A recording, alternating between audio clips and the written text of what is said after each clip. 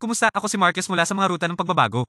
Ang sumusunod ay isang pagsasali ng video sa pamamagitan ng audio dub na naaprubahan sa akin. Tangkilikin ito.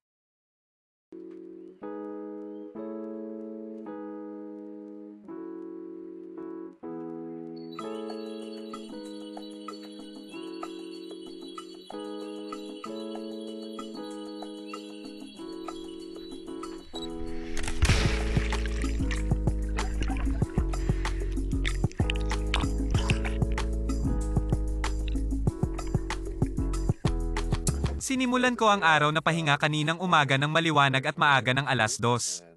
Napansin ko ang ilang mabibigat na chafing na nangyayari sa mga linya ng self-steering control kaya inilabas ko ang madaling gamiting duct tape.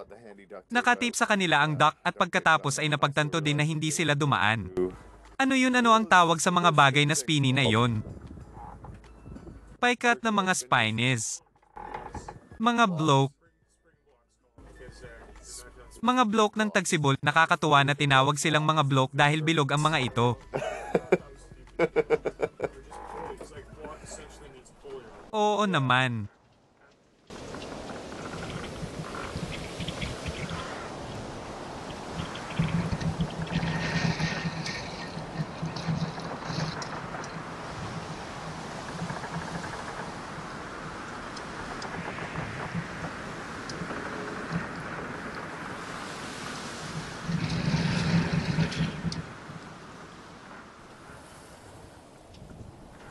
Kami naman.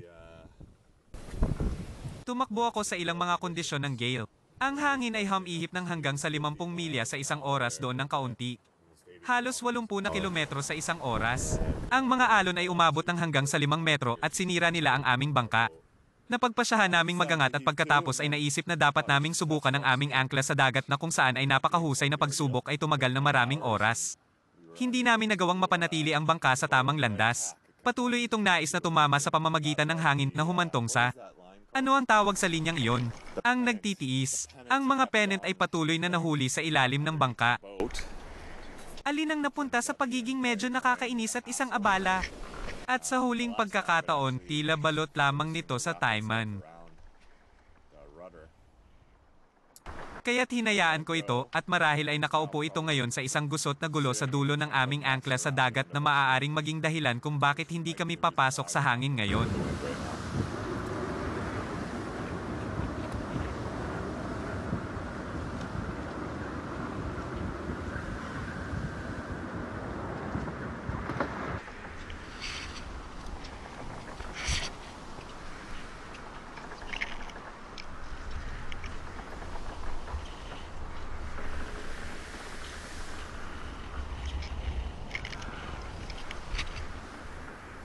Ang window ng starboard Dodger ay tinatangay ng hangin mula sa isang alon na marahil ay nag-crash mismo dito at binasag dito. Ang cabin ay walang alinlangan na hindi walang tubig, ang tubig na tumutulo mula sa halos kahit saan maaari mong isipin. And uh, Ang steering vane rudder ay maluwag at sinimulang basagin ang likod ng bangka. off Dalhin yan para sa mahigpit na pag-upo ng Lazarette, okay? Yeh, maliban doon, ginagawa namin ng mabuti ang lahat ng aming mga benta ay nasa isang piraso. Nasa isang piraso kami ng pagpunta sa isang maliit na pagkasisiknas ng kaunting pagod. Nakapahinga na rin kami ngayon, bagaman at inaasahan ang paglalayag bukas. Wow! Ang mga huling araw ay napakahirap. Nagkaroon kami ng chafing sa Taiman mula sa kung saan ito ay robang laban sa mainline. Ang mainline ay tila magiging okay, bagaman. Ang isa sa aming mga block ng jib ay baluktot at ang aming pangunahing lead ng anchor sa bow ay baluktot. Um, Pinalitan namin ng bungee sa steering vane rudder dahil pinahihirapan itong ilagay at palabas at ang self-steering ay tila gumagana ng maayos sa ngayon. Ginagawa ito ng mabuti ng Cape Horn. Cape Horn is doing this well. Nakatulog si Dave. Nakuha niya ang lahat ng kanyang bagay na pinatuyo. Bumalik kami ngayon sa ilalim ng layag na nakuha muna ang sea anchor kaninang umaga.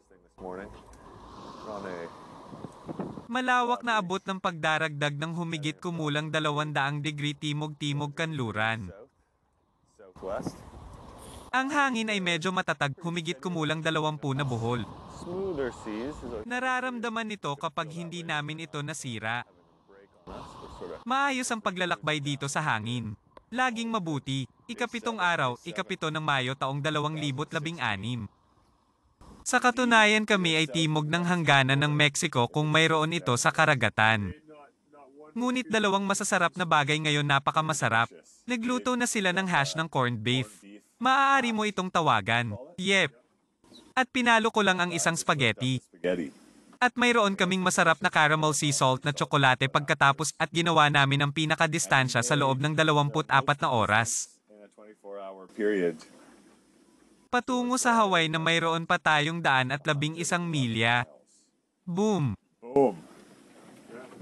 Lumilipad si Dolce. Ye, higit pa sa abot ng isang sinag. Dumarating ang mga alon sa aming mga sinag. Paminsan-minsan nila kaming sinasaktan marahil. Binabayo ako sa aking mahimbing na tulog. Kung mayroon akong ganoong bagay, nag-set up kami ng isang dual head sail na nakaset up ngayon. Walang main line. Mayroon kaming isang jib at isang maliit na jib. Jib and a smaller jib. Patuloy na pagpunta sa downwind. Hindi sa maraming hangin. Marahil ay nagre-average kami ng halos tatlo hanggang apat na buhol ng hangin ngayon. Sapat na upang maisulong tayo ngunit hindi sapat upang mapanatili ang aming mga paglalayag na puno at Uh, medyo maganda ang kalmadong karagatan ngayon kahit na. Ito ay isa sa mga pakinabang ng kaunting hangin, binibigyan ka nito ng oras upang sumalamin at magpahinga at tumingin ng malalim sa tubig at makita kung mayroong anumang malalaking mga isda o mga halimaw ng dagat na naghihintay para sa iyo upang lumangoy na halos ginawa ko ngayon. Habang naging kalmado kami at ibinababa ang mga paglalayag, hinanda namin ang lahat. Nakuha kong hubad at malapit ng tumalon at pagkatapos ay medyo maangin at nanlamig ako at sa gayon ay isinuot ko muli ang mga damit. Tinaas ko ang mga layag. Mayroon kaming sapat na hangin upang magpatuloy. At pagkatapos ay nag-shower na lang ako ng isang balde sa baw ng bangka dito. bow. Ye, sa pangkalahatan ay naayos at nakaayos at naghang ng ilang mga bagay-bagay sa paligid ng bangka. Lahat ay maayos.